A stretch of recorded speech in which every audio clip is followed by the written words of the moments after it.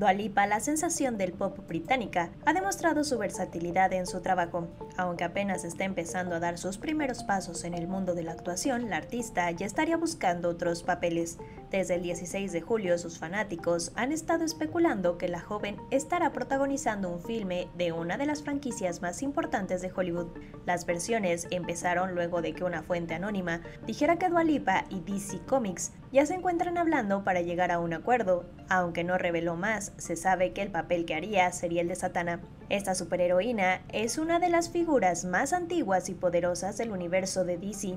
Se trata de una maga que tiene poderes, hace conjuros y ha participado en la Liga de la Justicia y Smallville. Victoria Pedretti, la protagonista del éxito de Netflix You, también ha sonado para dicho papel. La fuente anónima que reveló a Dualipa entre las candidatas también anunció a Lady Gaga como Harley Quinn en The Joker 2.